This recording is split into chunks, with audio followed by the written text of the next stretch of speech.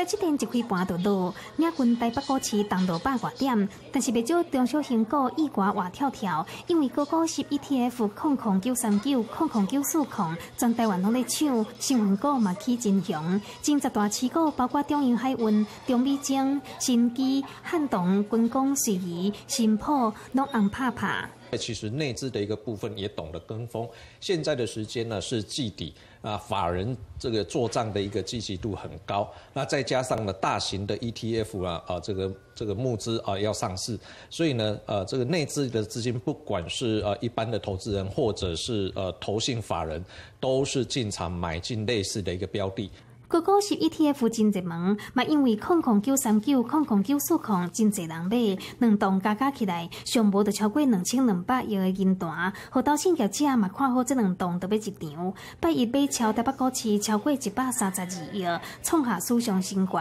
买上济就是联电，以九千一百三十张抓上榜首。